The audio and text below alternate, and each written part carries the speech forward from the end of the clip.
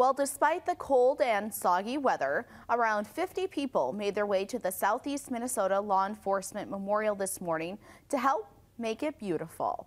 Multiple area landscaping companies came together for a service day and they worked to plant shrubs and other plants. Families of some of the fallen officers that will be honored on the memorial were also at the event.